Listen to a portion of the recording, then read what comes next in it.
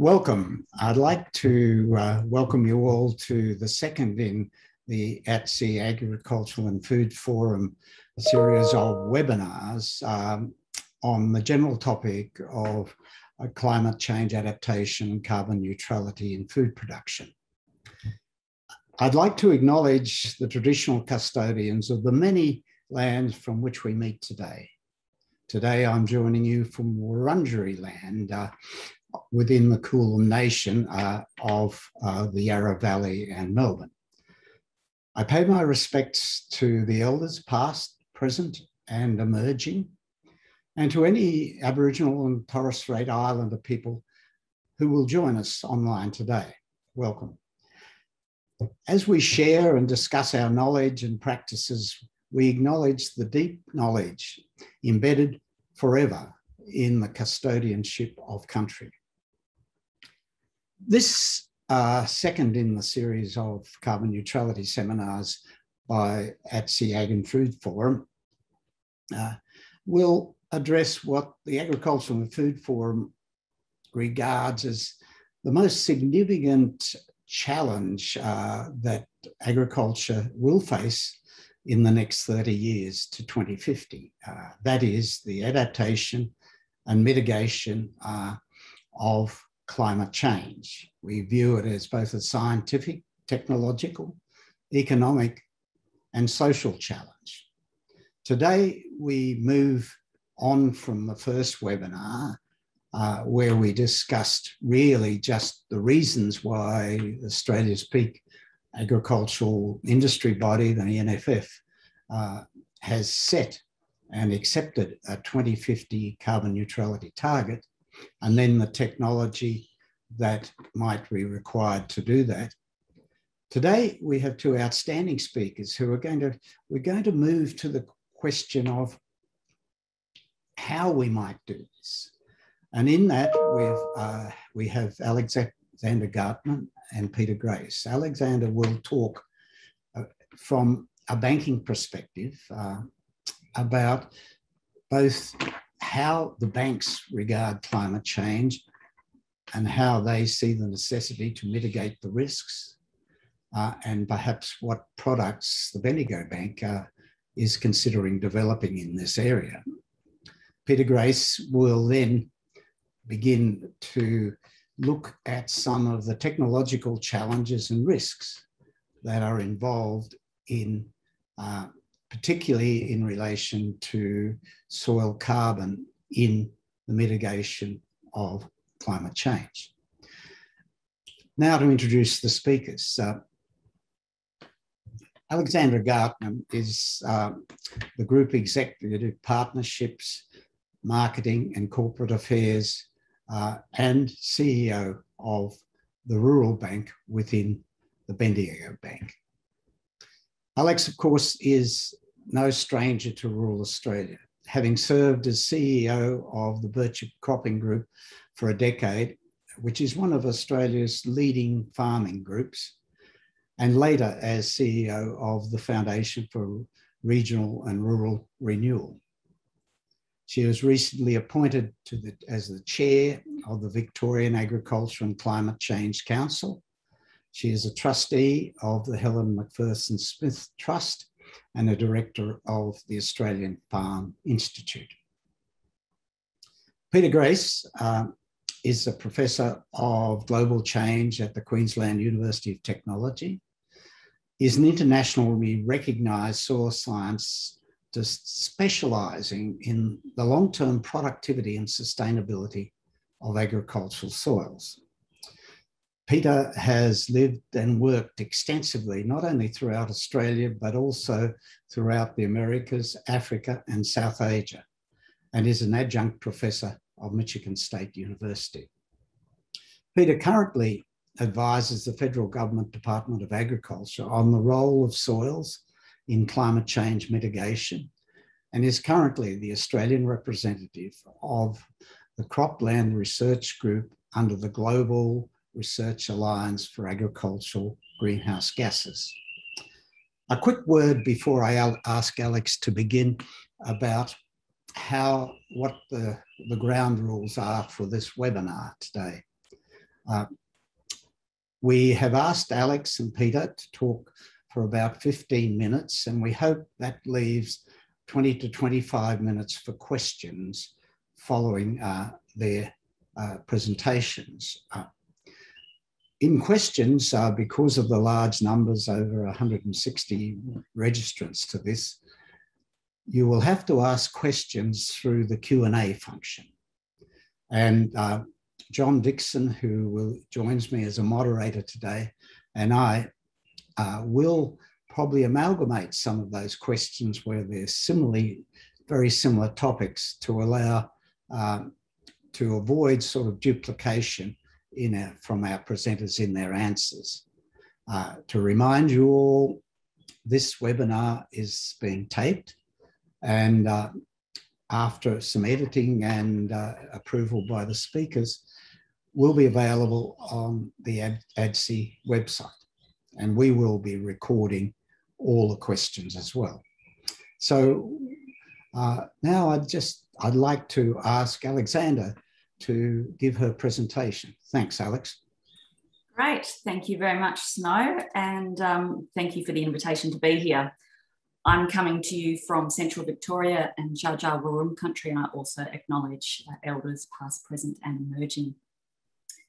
Now, um, I just thought I'd briefly just outline you know, uh, a little bit about the bank. So Rural Bank is the agribusiness division of Bendigo and Adelaide Bank Group, and we are focused solely on the farm business lending. So I will have a, a specific uh, focus on the agri side of things here we don't lend into the corporate agriculture and we don't really lend into sort of hobby farm activities um, through the rural bank division.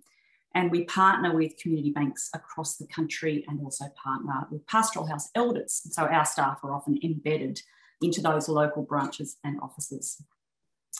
So what I wanted to cover today um, is really about what's happening across the banking sector in relation to climate change and what the banking regulator is indicating will be, required from a compliance and reporting perspective.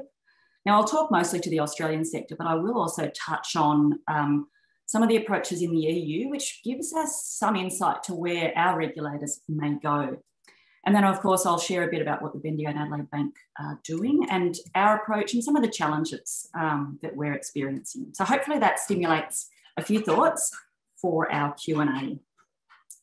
So um, sort of stepping back and, and, talking about the industry. Pretty much all banks are talking about climate change. Um, but I'd have to say there's a bit of greenwashing in there uh, as well, because we know that we're expected to talk about climate change, but we don't always have deep capability and knowledge uh, internally. So sometimes we talk about things, but we're yet walking the talk uh, across the industry. There certainly were announcements last year about lending to heavy emitting industries and, and where different banks were going. And recently, I'd say there's some really positive announcements about incentivising climate and wider ESG practices as part of lending. Now, larger banks have been working for some time on climate and environmental actions, with smaller regional banks and credit unions know, follow, following up being sort of either fast followers or, or really sitting back and, and listening and learning from what the big four have been undertaking. So if I um, talk about the sort of how the regulator um, and what banks are having to uh, respond to. So APRA is the Australian financial system regulator for banks, super, superannuation funds and insurers. And their mandate is to ensure banks can meet their financial promises, primarily deposit holders, um, within a stable, efficient and competitive financial system. So that's really the purpose of APRA. Now, they've recently issued a draft prudential guidance, which is CPG 229, on climate change financial risks for industry consultation. And the guidance outlines the regulator's thinking on how banks should approach climate change risk and opportunities, including things like governance and oversight, incorporation of climate within risk management frameworks, completion of scenario analyses to assess financial impacts to banks for, for any given climate change scenarios. And on that topic, um, APRA with the four majors and Macquarie are currently collaborating and completing a pilot climate vulnerability assessment. And that's likely to address which particular climate change scenarios will be used and then consistently used by all banks uh, in their modelling and also testing the source of climate change data because there are there's a plethora of data sources available. And that will help inform how banks should treat climate risks within their capital management plans so that we still have a stable financial system.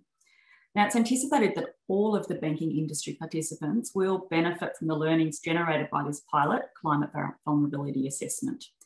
And so that means that climate change risk has been or is being incorporated into uh, banks' group risk management frameworks, that they are undertaking risk and opportunity workshops across um, their portfolios to try and really have more granular understanding of what their portfolio risks and opportunities are, um, and undertaking scenario analyses. And some of you would have seen uh, some scenario analyses published by particular institutions. So banks are really going to be regulated by what scenarios they plan for. And they'll be doing that really at a large portfolio level. They're not going to do it so much at a you know individual business level, uh, but very much at their portfolio level. So they'll think about different industry sectors, they'll think about different geographies and be um, testing um, and running those stressed scenarios of future climate change um, across their books. We're also all being subject to shareholders and their expectation of how climate risk is managed and what climate action uh, they want to see the institutions they're investing their capital into uh, take. And of course, there's, there are other stakeholders that are putting pressure on you know, banks responding appropriately to uh, the topic of climate change. And that includes staff who expect to be employed by a good corporate citizen, customers who expect banks to meet their needs, but don't always want banks to be the ones that tell them what to do. So I've got, you know, when I think about our financial system, um, I, banks will certainly be able to manage the risk. Uh, so if there's enough insight and data to be able to apply to their portfolios, um, they certainly can account for lots of different scenarios. But these will all have various capital and cost implication and consequences. Um, and that I think is what we have yet to really work through. Will banks be able to support some of the opportunities that climate change presents? Um, I think that's something to be tested because banks, um, we all associate them with managing risks. They're not always well set up to think about, well, how do we make sure we proactively support the opportunities? Another question is, is there going to be enough capital? Yes, there's definitely enough capital um, to be able to support um, adjustments and changes and uh, transitioning to a low carbon economy. If I can just touch briefly on the EU. So the in the EU, we are seeing that um, environmental social governance compliance, so ESG compliance, is really starting to be driven via financial institutions. And what those banks and financial institutions are expected to do is to be able to account for the ESG uh, uh, performance of their clients. So banks are now asking clients, or will be in the EU, to report on their climate footprint and actions, their, uh, you know, their broader environmental actions, social impact and, and governance. And that includes things like appropriate employment law, um, you know, social ramifications, uh, natural habitat impact, climate. Um, and they, the banks will be expected, if they're listed on the uh, EU exchange, to report on that annually. So that really is um, driving it, you know, the financial institutions to, to get a lot more information from their clients about their own uh, impacts and performance and to be able to report that uh, very transparently. We anticipate that, you know, the EU approach will be closely watched around the world um, and our regulators may follow suit. Um, I think there is just one, you know, one challenge when we think about incentivizing or regulating uh, actions and behaviours, we sometimes get the perverse outcomes when they are driven by a compliance requirement as opposed to thinking about climate change being something that we need to respond to, to to ensure viable, prosperous businesses, communities, and industries. So that is something that we've got to make sure that we don't just approach things from a, you know, we're being regulated to do this. It's a compliance task, so it's more of a tick and flick as opposed to really thinking about what are we doing proactively? So the Bendigo and Adelaide Bank Group, um, we actually introduced Australia's first green loan product back in 2002. So we were a sort of early runner in this space and then took the foot off the pedal a little bit. Um, and while we don't lend to fossil fuel or native forest logging um, projects, and we haven't done for a significant period of time, we do support communities that rely on these sectors to transition uh, to low carbon economies. So we've got a lot of community bank partners that are uh, located in geographies that are reliant on those industries. And rather than saying we're not lending uh, full stop to anything in those regions, um, we are working with those uh, partners uh, and customers to, to support their transition uh, to something different. Our board approved our climate change policy statement and action plan uh, last year in, in, June, and the board has oversight of our climate change action plan. And this year, I'm pleased we'll be publishing our first standalone sustainability report in October. And as you'd expect um, for the Bendigo and Adelaide Bank Group, via our partnership with over 320 community banks across the country, we've been doing some really great social impact initiatives. Um, and even in various locations, really innovative uh, partnerships to invest in hydropower, wind power via local community organisations. So some of the, the risks and opportunities that we've been thinking about when it comes to, you know, as a financial institution um, and responding to climate change are things like higher compliance costs. Um, and since the Royal Commission, there have been a raft of compliance requirements uh, for, for financial institutions. Um, we are anticipating, like I outlined earlier, increasing regulatory and shareholder expectations um, to, to come. And that will increase the cost of, of capital and funding something we have to, to factor in. I think it's, you know, we're also anticipating an increase in, in the physical risks leading to an increase in the credit loss, losses or credit provisioning uh, for financial institutions. Some of the opportunities which we have to put as, you know, equal amount of effort into is if we're collecting you know, data um, on what we're lending to and the impacts, and if we follow the EU path, enormous opportunity for really great data collection that can should be able to be utilised in many different ways.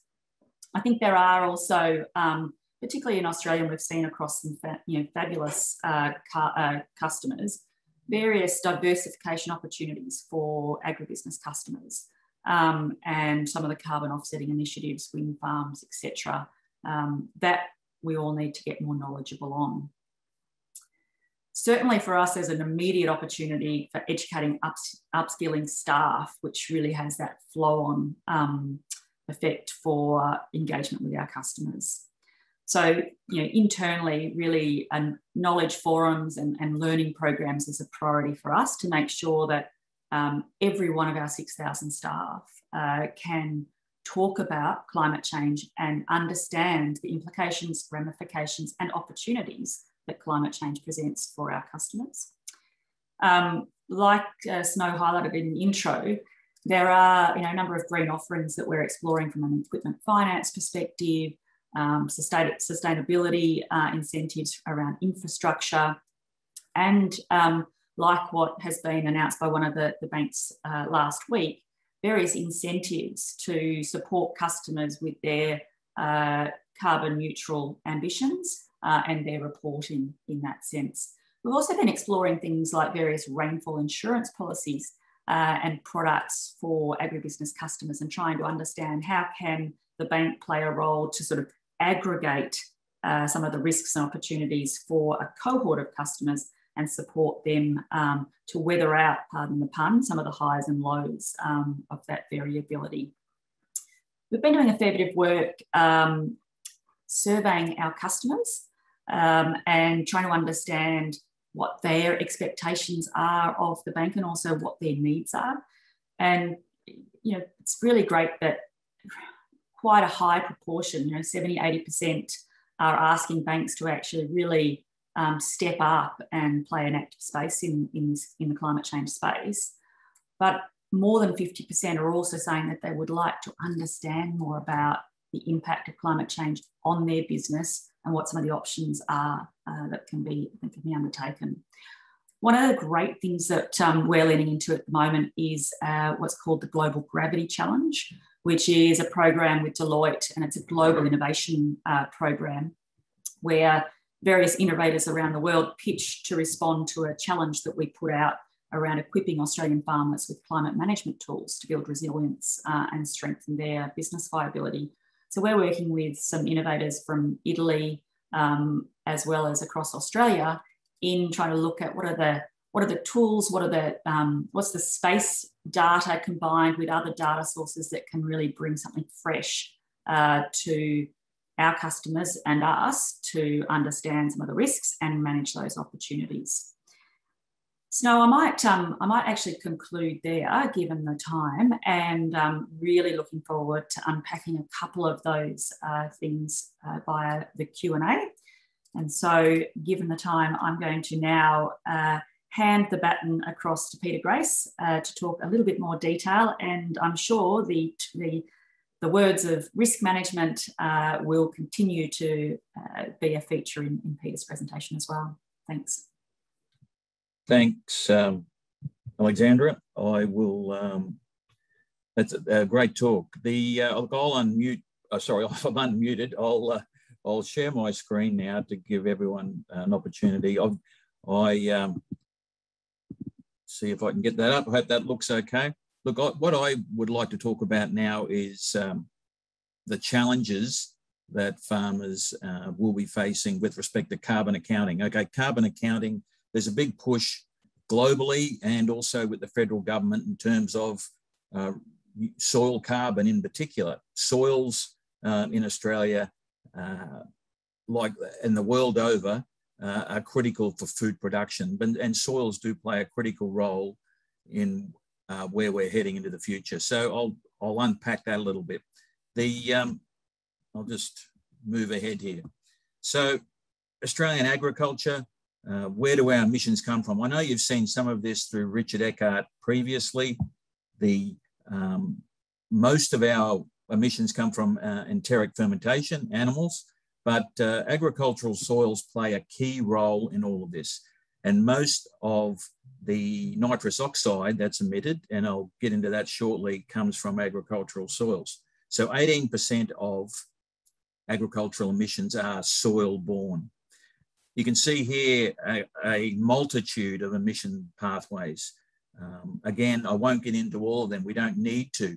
But the interesting thing is the, the non-CO2 gases, um, mostly nitrous oxide and methane, these are permanent with respect to if you have an emissions reduction. When it comes to soil carbon, though, permanence is critical to gain a carbon credit but permanence is difficult in our environment. Now, these are, this is just a list of what I just showed you there in the graphic. Uh, these are all the different pathways uh, of emissions that are accounted for by the Australian government and internationally reported. Um, but what I'd like to focus on is the soil management area initially, and then talk about fertilizers and uh, crop residues. Now, how do we bring all this together? We have a common currency, uh, global warming potential, and we report everything as CO2 equivalents. And when it comes to carbon credits, uh, we're looking at soil carbon change in Australia and globally, and then methane, and then also nitrous oxide, bringing it all together into one single number, which is reported as CO2 equivalents. Now, globally, uh, we know that there, in the 1900s, uh, when agriculture first came into many areas um, and cropping, there was a clearing of native vegetation. With that clearing of native vegetation, you had a large release of uh, CO2 to the atmosphere. This is just a schematic uh, put together by Jeff Baldock, um, ex-CSIRO, which just, just gives you an idea of uh, potential magnitude of change. Uh, again, it, it is a sim, uh, simplification, but you can see here, um, once we move forward and could see that we were declining in productivity, we had a switch in terms of, hey, how do we come back? How do we um, bring fertility back into our soils? So some people converted to pastures. Uh, that's the orange line you can see. and some people may have kept in cropping but moved into conservation tillage. Now, this is, this is what is the result of uh, our original practices. This is before conservation tillage. This is the mallee. Now, this has come back. You can see on the right, um, you can see the vegetate, the original vegetation, and you can see how far when you've ploughed this area, cultivated the area, how, how bulk density has dropped, carbon has uh, disappeared, and the whole system uh, is in decline. So conservation tillage has been a key area um, and the whole idea of healthy soils now, uh, as it says, the cornerstone of life. It's very quick to lose soil, which can be eroded and taken away, but it's very difficult to bring it back and accumulate carbon over. And with all of these uh, benefits, water, food production, biological diversity, we really, uh, we really can build society. Now, this is a slide many of you may have already seen. Uh, Albert Rovira, a very revered soil scientist uh, from South Australia. Um, on the left, you see a, a, a paddock that has been uh, under conventional uh, cropping. On the right, conservation tillage over the years. And you can see after a rainfall event, it is totally different. Uh, there's ponding um, in, in the conventional uh, tilled area. The other side, no water's drained well. Now, conservation agriculture is very much a driver of greenhouse gas emissions. Uh, in the conventional side, there's been a loss. Uh, there's been emissions, CO2, methane, nitrous oxide, all all in large quantities. But then moving to the uh, conservation uh, agriculture uh, side of the side of the equation, you have CO2, nitrous oxide, and methane all being taken back up by the system. So we want to be heading in that direction. Just going to run through here very quickly um, some options that people, in terms of farming systems, this, these are simulations based on real uh, validated models. And the example here is a 600 millimeter, uh, far, um, a 600 millimeter region and a clay soil. And uh, you can see here all of them in terms of soil carbon in the top 30 centimeters. The negative means that you have sequestered carbon. So whether it's grain, uh, including a grain legume, moving from pastures, and then looking at sugarcane uh, in particular, you can see all of these systems can sequester carbon over a 20 year period if managed uh, properly. However, when you are adding fertilizer, you've got a negative in the balance sheet in terms of emissions to the atmosphere. And this is uh, just, again, um, you can see it quickly knocks out a lot of the benefits in turn. And people have to have to use fertilizers in the majority of cases. Then when you bring in animals, uh, and we're not discussing that again today, but these are very conservative numbers of methane. So the last, uh, the last column in each of those five uh, scenarios is the net balance, is the global warming potential. And you can see in all cases, except for the grain, where the grain system, um, we can, we have lost quite a significant amount to the atmosphere in terms of CO2 equivalents. So this is what we're up against. We're up against bringing these all down to a neutral situation, uh, a zero situation. Now, soil carbon is on the agenda well and truly by the federal government. But what I wanted like what I want to show here is just one example of the variability in soil carbon across a landscape. And when you have variability like this, which is in most cases, it is very difficult then to be credited for that carbon if you are, are able to increase it. And you can just see here, if you look at the legend, it ra ranges from mid 30s, uh, sorry, yeah, mid 30s down to uh, 20, 21 tons of carbon um, per hectare in the top 30 centimeters. Huge amount of variability, but this is pretty normal. Now, How do we get around this? The new technologies that are now coming through, instead of taking soil samples, what's the, what's the other way to do it? These are um, soil carbon is the result of biological reactions producing CO2. So we're actually measuring CO2 instead and integrating that value across a landscape. Quickly, we'll just look at, have a look at um, the other areas. I've already mentioned nitrous oxide and crop residue decomposition. These are both sources of nitrogen. And you are, there, are two, there are two pathways for nitrous oxide. Nitrification, which is an aerobic reaction, microbial reaction, and denitrification, which is when you have a, a saturated soil or waterlogged soil. Just quickly here, just giving, providing an example, here you have uh, on the bottom nitrous oxide, here you have the water content, water contents drop, and you, you still get nitrous oxide emitted. But when you have increases in water content, you get a big flux in nitrous oxide. Now, where you need nitrogen as a source, where's that coming from? This is just an analysis using some data from FAO. You can see um, whilst crop production has stabilized basically between 2010 and 2015 in this example, there was an enormous amount of nitrogen used. So we were in excess. Where was that nitrogen going? It wasn't being taken up by the plant. So it's available for losses to the atmosphere.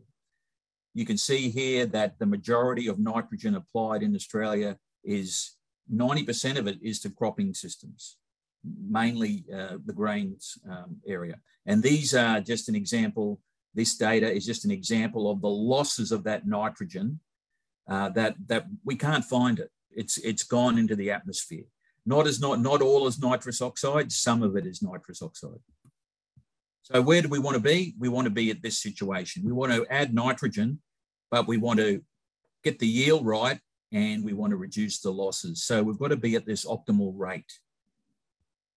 What have we done? And this has been a federal government uh, investment uh, from about 2010 to 2017 the only country in the world to invest heavily in nitrous oxide emissions. We have this data. It's the best data set in the world, and we've been able to use it to take agriculture forward to carbon neutrality. Um, again, data sets from all over the all over the country. So, bottom line, where do we go with uh, nitrous oxide? And I believe nitrous oxide is the key to cropping systems being carbon neutral fertilizer management. These, these are all basically what growers know anyway. But again, fertilizer is cheap and fertilizer is being uh, used uh, quite extensively. But again, we can pull back a bit. Uh, we can use enhanced efficiency fertilizers. Uh, that reduces the nitrous oxide emissions by 80%, uh, an enormous change. Uh, we put too much N on, we need to supplement our soil nitrogen supply. We need to put it on at the right time, not too early. We need to synchronize it with maximum growth and we need to get it into the ground and not on top of the ground, where the surface where it can be easily lost. So the, look, a lot of these are being done already. There's nothing really new here except for these enhanced efficiency fertilizers, but they do come at a premium. They're about 20% more in cost. Um, we have developed over uh, recent years uh, reduction, emissions reduction strategies where farmers can be officially rewarded with a carbon credit. This is in the cotton industry. Anyone that wants to pull back from 300 to 250 um, kilograms of nitrogen will be rewarded in terms of a carbon credit, but not many growers have come on board this. Fertilizer still is cheap and it is an uh, insurance policy. So want to quickly wrap this up. Um, additionality is required for carbon credits. What I mean there is you've got to do something that you wouldn't normally do. And most people, in terms of soil carbon, have moved towards conservation agriculture. So, rewarding soil carbon, you've got to look at different pathways. Spatial variability is a major constraint. Um, soil carbon is non-perm is not permanent. Permanence is critical in terms of getting that um, return into the uh, greenhouse gas inventory and getting that credit. That's a hard one. There's a lot of N2O nitrous oxide information in Australia. We've used that to develop plan uh, strategies including the use of enhanced efficiency fertilizers. The way forward, well, there are measurements, as I showed, using systems like flux towers to give us a combined, uh, combine them with models. And globally, model-based soil carbon and nitrous oxide methodologies are the norm. We need to be aligned with them. So there is a way forward and it can be cost effective. Uh, thanks a lot. And uh, any additional information you can find at this website. I'll hand back to Snow. Thank you. Uh, John Dixon will uh, ask the first question. Uh, thank you, Snow. And uh, I'm uh, very happy to uh, link together a couple of the numbers of questions that are coming in on the Q&A. And the, there is a very important question um, raised, first of all, by Georg Zellner, and that's about what proactive engagements and activities are taking place. Um, thinking ahead to the next 30 years of movements towards carbon neutrality, and specifically, and then a related element from Pam Robinson saying what discussions are underway between government and agencies in relation to the types of farming that would be most suitable and most effective to uh, moving towards carbon neutrality by 2050, given the different soil types and conditions in Australia.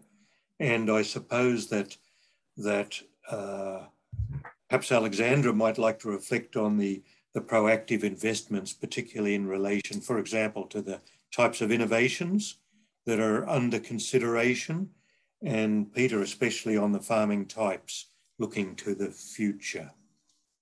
Thanks very much, John. Um, Peter, I'll go first if you like. Um, yeah. And just uh, expand on that investment piece. I think it's worth remembering that uh, banks are only one source of capital um, when we're thinking about investment, and uh, banks are often probably the most conservative uh, when it comes to uh, utilisation of their capital for something that's really uh, a little cutting edge, leading edge uh, compared to the private market. Um, certainly, you know, in my dealings with a number of farm businesses that are working towards net uh, zero, I think some of the challenges are uh, being able to benchmark um, and understand where they're at, and therefore what are the practices and technologies that they need to invest into that need capital behind them to enable them to get there. And that goes to some of Peter's comments earlier around, you know, just whereabouts might you try and focus your efforts to reduce your carbon footprint. Um, I think there's also a question around, you know, if, if we're going to put proactive um, focus on uh, negative emissions technologies and infrastructure, where might that be? What scale? And if I reflect on it from a, a Bendigo Bank perspective, our focus has very much been um, with local communities and, and, supporting a local community rather than something very large in scale that will support a state or a major city. So we've been investing in um, community solar programs, uh, community hydro programs where you can feed back into a local community to, to basically get uh, a net zero uh, outcome. Um, and then the, any of the profits generated by those community uh, energy initiatives actually get reinvested back into community as well. Um, so there are fit for purpose and different scale approaches for investment. And I think banks are, um, you know, won't be the leading edge when it comes to investing in, in something that's really cutting edge, but there are other capital markets that are really excited and, you know chomping at the bit to invest in really um, leading edge uh, technologies and opportunities. And then we have to think about scale. So, what are the scale of initiatives? Um, if we try and solve really big, chunky challenges, I think that the risk of failure puts many investors off. If we can um, think about different scales and local community scale, farm business scale, and the investments that are required there, then that actually opens up um, into the risk appetite of different investors and banks um, more opportunities.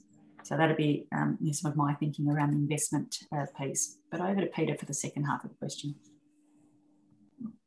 The um, just to talk about uh, people talk, just to talk about if people are talking and where this is all heading, um, there is a soil strategy that the Australian government has been putting together for quite a while now. And they keep uh, bringing up numbers that there's going to be X invested. There's been a lot of workshops. I've been involved. A lot of people have. But uh, as you probably can realize, the pace of government in certain areas is slow. And uh, the recognition that soils are important just for productivity alone um, is critical in making this all happen. Uh, um, I think I think there is a genuine um, in, industry wave behind a lot of this. Um, the rural development corporations all seem to be on board. They have their own uh, climate change group as well. Uh, some are more on board than others. I know the uh, the grazing industry, and just from the data I showed, um, you'll see that methane methane is is a significant uh, emitter uh, or a significant source. So uh, the grazing industry has, as Richard Eckard would have touched on, the CN or carbon neutral 2030 investment. That, that is a significant investment which has got a lot of industry involved. And, and MLA do have some very interesting investment strategies. Um, other, other um, as long, the key to this is, and I think uh, Snow can comment on this, as Snow has also had a lot to do with the ag sector and the government. Um, all of the people we've been involved in in the government uh, up until up until now have, have basically said, "Hey, productivity and emissions reduction must go hand in hand. You cannot have you cannot separate them. If you can't grow and you can't grow sustainably, um, we're not going to move forward." And and I think that's that's a great attitude.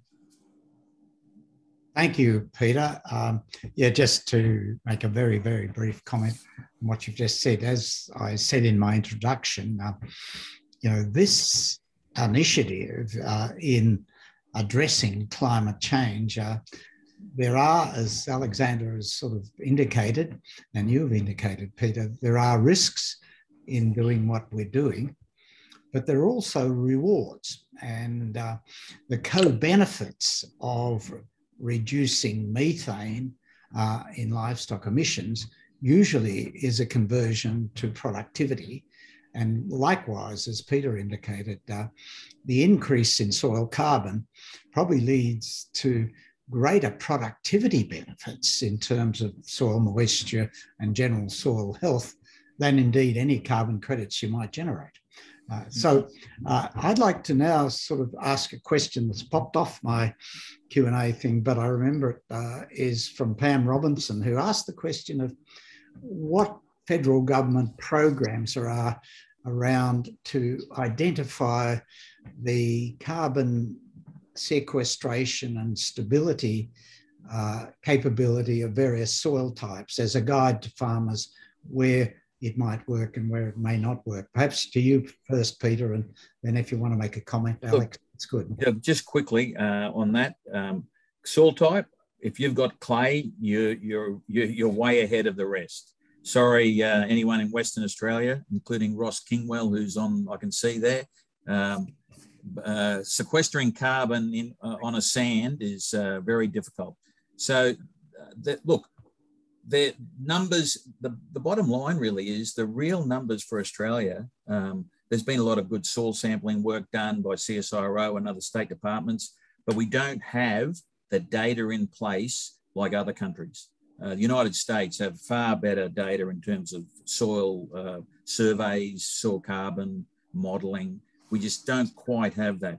But again, um, there are depart- the Department of Industry, is heavily involved in this, the clean energy regulator, but the clean energy, energy regulator is more so wanting industry to come on board and get credits out the door.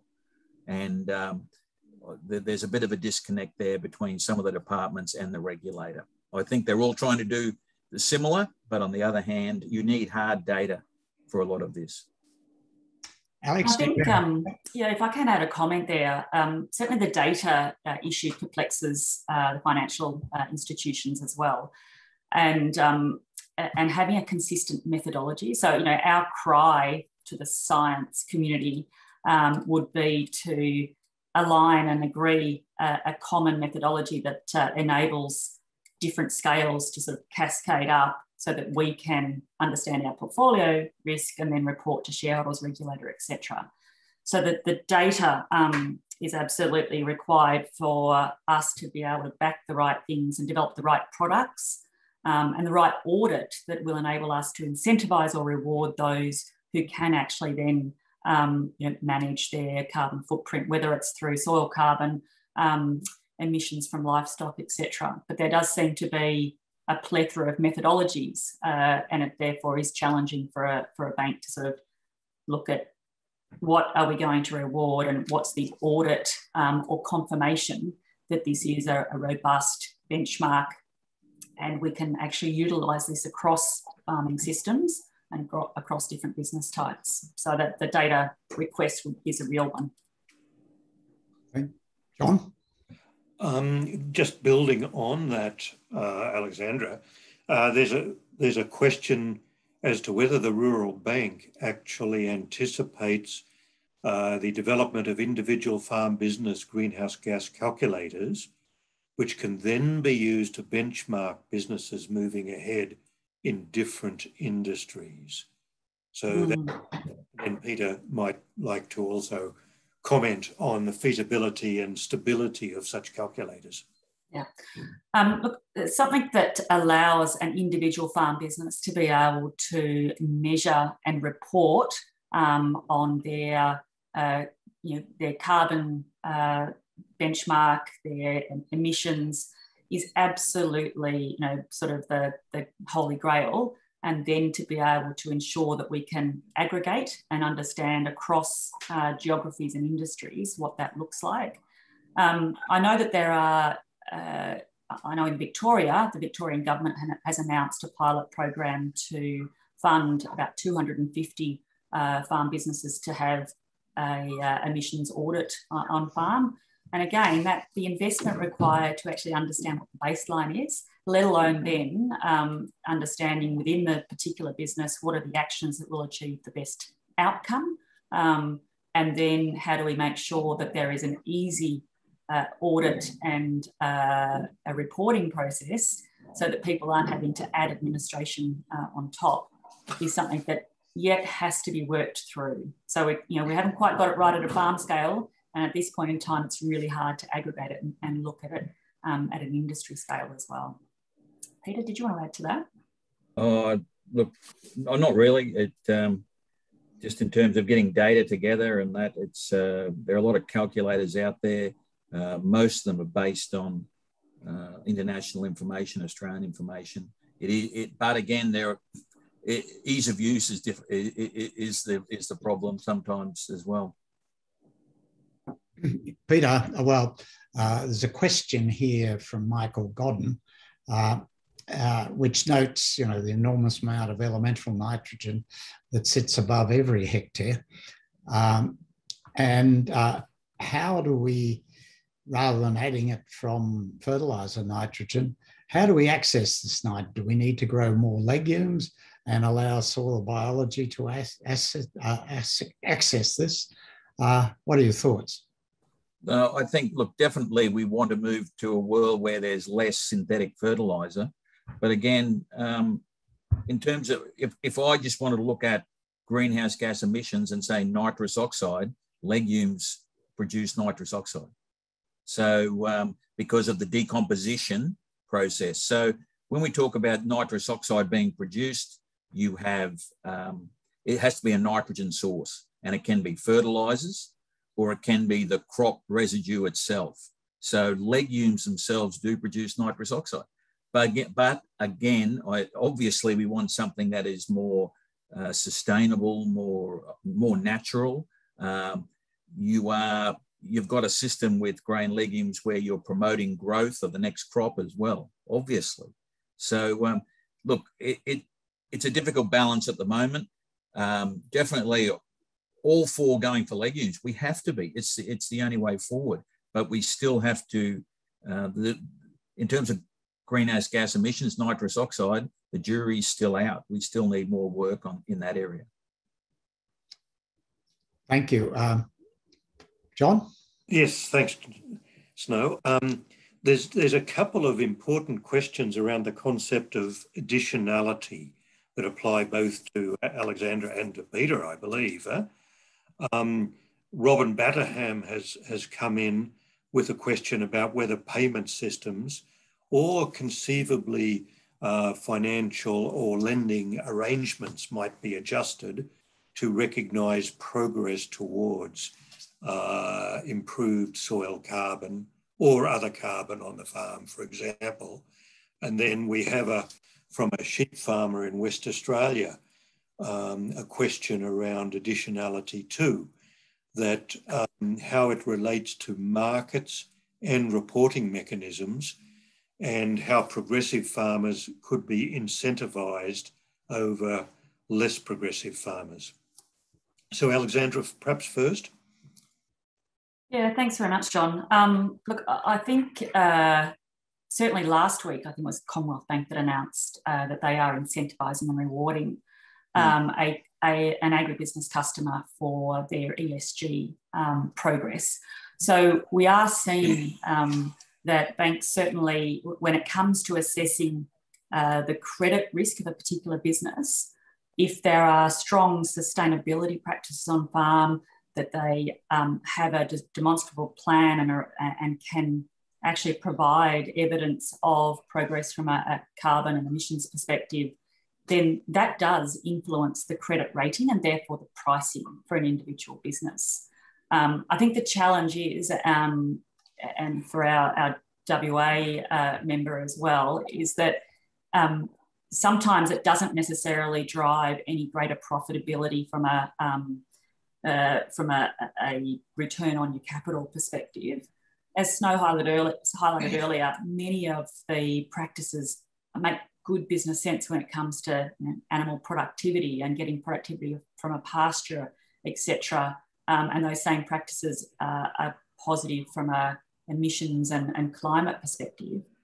I think the challenge when it comes to being able to incentivize and reward is that we need data um, and reporting that provides confidence that that is not a, you know, a one-off and that there can be the sort of the evidence chain to be able to back that um, reduction in risk from a bank's perspective because that goes through to pricing.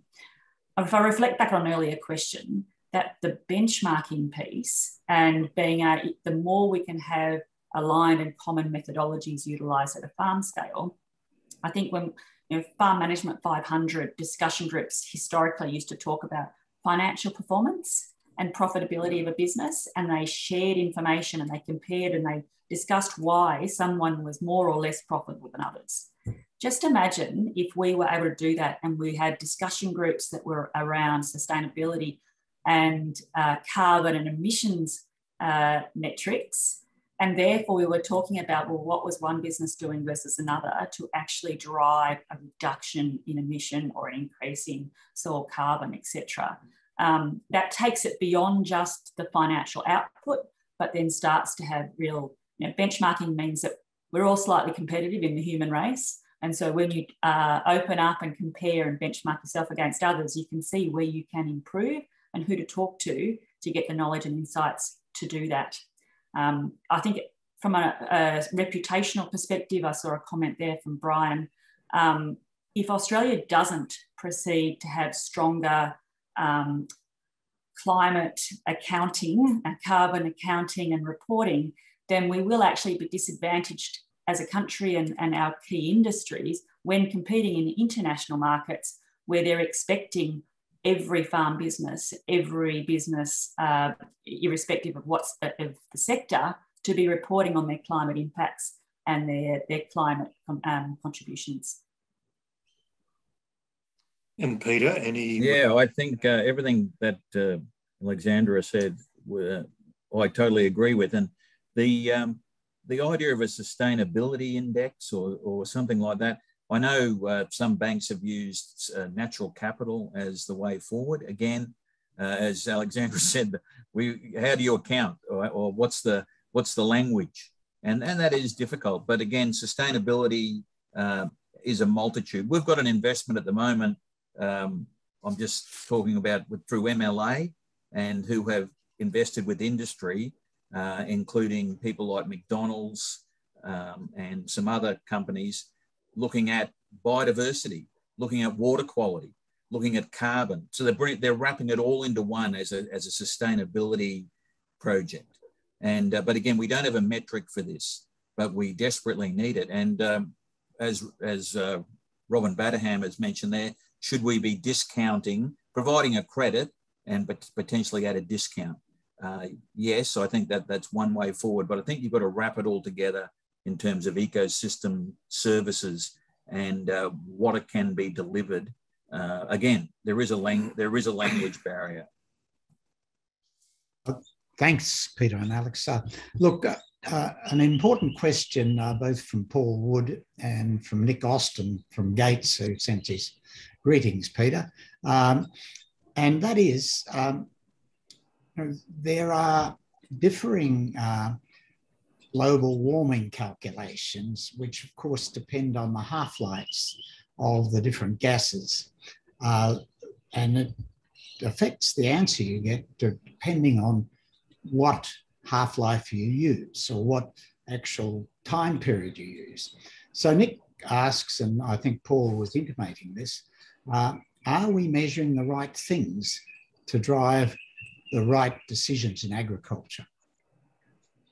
The um, I won't delve too far into methane because that's where this is all coming from. Um, you'll have to ring Richard Eckard to talk about that, but uh, and I don't know whether if Richard uh, dipped his toes into the water because yes, but definitely methane is a short-lived gas compared to nitrous oxide. Unfortunately, nitrous oxide is a long-lived gas in the atmosphere. So using the um, global warming potential of 100 years is quite legitimate. But again, I know there's arguments around methane and how it's uh, uh, and, the, and, using a, um, a, shorter global warming potential, 20 years, um, is being pushed forward. I think I think there are some uh, legs in that, but um, again, I I'm not an atmospheric chemist, so I, I, but I can talk about nitrous oxide and uh, and definitely 100 years, it's going to be there still um, in the atmosphere. Thank you, uh, John. We're getting close to running out of time. So I'll ask you to ask the last question and uh, thank our speakers formally. Um, but before I do, just to say to those of you who, uh, it's been a, a, wonderful questions response. And uh, we haven't got to all the questions, which I apologize for. But if our presenters are willing and have the time, I know they're very busy people, but we will forward your questions to our presenters and they might just uh, give you a, a, quick response in a written form so to ensure that everyone's questions were, were attempted. Thank you. Over to you, John. Uh, thanks, Snow. Um, there, there is a question about um, from Carolyn Welsh whether we're um, expecting too much uh, from carbon sequestration, um, in, suggesting that uh, below 500 millimeters of rainfall, uh, sequestration might be quite low, and also on sandy soils, which could be challenged. So, is it that we only have uh, significant carbon sequestration that's measurable in high rainfall areas and with significant clays? Just a very quick answer to that one. Yeah, I, well, clay clay is the key, and uh, water, uh, the water content of clay. So over, we tend to think of over 600 mil is sort of the way to go. Um, but the bottom line is, um, and this is why the grazing industry has some has some legs, is that small amounts over large areas add up. Okay, so don't don't be too disheartened. Um, everywhere, but again, it's all, it's area. It's it's a spatial extent. Um, small amounts add up. Well, thanks very much, Peter. And uh, I'd like to extend a, a huge thanks to Alexandra Gartmann and to Peter Grace, both, who've, who've presented so well and also answered the questions very, very well too.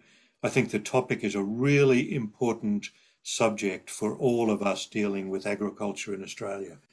And it, it leads us round that question of data, knowledge, and digital systems, and especially measurement, the accuracy of our measurement. So we'd like to thank you very much to uh, thank also the participants for listening in, for asking key questions, and we will get back to you as, as uh, Snow indicated. And uh, I'd finally say keep an eye on, on the ATSE website for future webinars in this series related to carbon neutral agriculture by 2050. Um, there is, uh, just as a quick heads up, there's a seminar coming, a webinar coming on the 1st of September on food and agribusiness that might overlap some of the questions we've discussed today. So thank you very much. And with that, the uh, webinar is closed.